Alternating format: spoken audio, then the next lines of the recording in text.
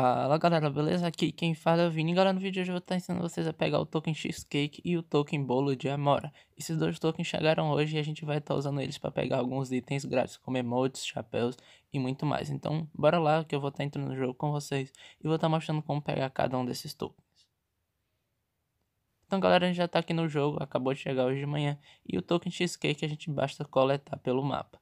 Já a partir do dia 19 a gente já vai estar tá podendo coletar esses tokens no mapa. Se eu não me engano, dia 19 é amanhã.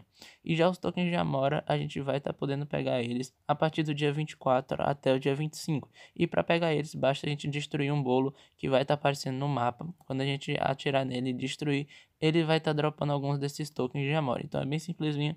Para pegar o de Amora é só esperar o dia 24. E para pegar o token de Cheesecake é só pegar pelo mapa, jogar um pouco que você consegue. Então esse foi o vídeo de hoje. Se você gostou, se, de... se ajudou você, se inscreve aí no canal e é nóis.